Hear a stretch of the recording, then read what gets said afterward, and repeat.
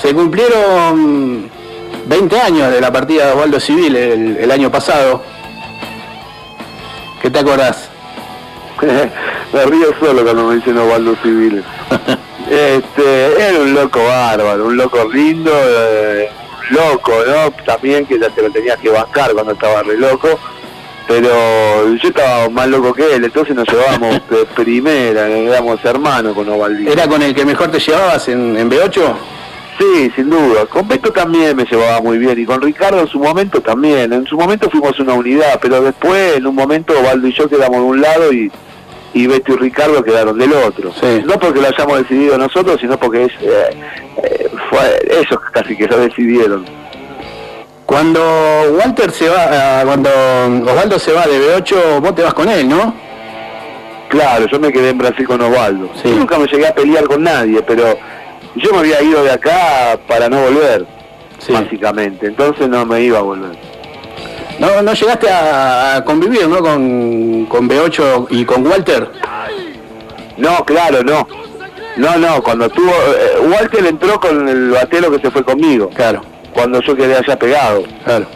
Eh, pero nunca llegamos a confluir, pero sí teníamos muchas ganas de tocar juntos con Walter, ya, ya, ya nos conocíamos. ¿Cómo, ¿Cómo crees que le hubiese ido a, a B8 con, con Walter Jardino y estando vos en la banda? Mira, aún estando yo en la banda, yo creo que de 8 fue Yoyo Civiles a Marví de Rowe. Todo Sí. lo que vino después fue un invento.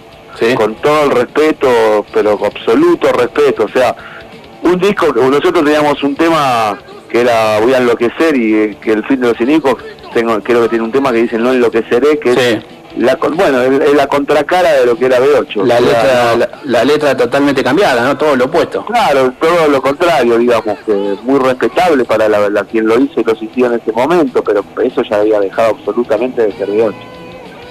Todo lo que vino después fue un invento. Eh, polémico lo tuyo, ¿eh? No, no, porque no está dicho como una falta de respeto, porque eran músicos excelentes todos, pero lo que había sido B8, B8, Sí. no, no, cuando nos fuimos Waldo y yo dejó de serlo, con todo lo bueno y malo que, que, que, que- que trae eso.